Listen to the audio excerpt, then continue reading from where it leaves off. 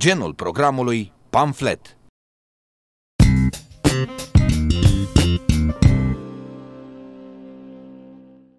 Povestirile cu polițiști sunt adesea ilare, așa cum cele ale pescarilor sunt incredibile. Polițiștii sunt de multe ori luați peste picior, uneori pe bună dreptate, alteori degeaba. Am aflat dintr-un ziar local despre cazul unui polițist care este cercetat de procurori pentru că făcea asigurări obligatorii de răspundere civilă șoferilor depistați în trafic fără RCA. Odată declanșată cercetarea procurorilor, înclin să cred că există evidențe care demonstrează încălcarea legii.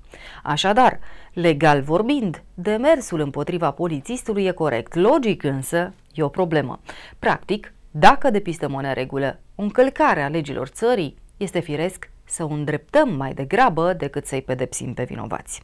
Ori polițistul cu pricina asta făcea cel puțin așa se înțelege din ziar. Conducătorii auto, depistați fără RCA, erau iertați de amenda între 1000 și 2000 de lei prevăzută de lege, dacă își făceau pe loc asigurarea la agentul negură.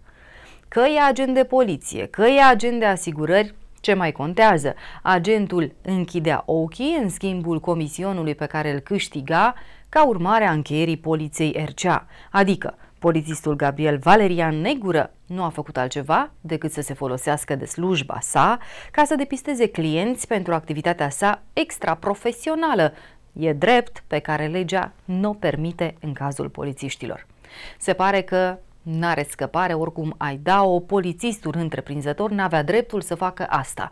Dar bunul simț și logica ar impune că se dă șpagă, că se ia mită, că se încalcă regimul rutier, nu mai e niciun secret. Dar legile sunt și ele perfectibile, iar scopul unei societăți este să evolueze. Greu de crezut că polițistul Câmpul Ungean, negură, era plin de bune intenții și că nu voia altceva decât intrarea șoferilor în legalitate. Dar metoda pe care o aplica n-ar trebui ignorată, ci mai degrabă exploatată. N-ar fi deloc rău dacă legea ar avea prevederi drastice, dar constructive, precum asigurarea pe loc și nu doar măsuri pecuniare ca sancțiune. Un punct de vedere. Alina Mihăescu sunt cele bune.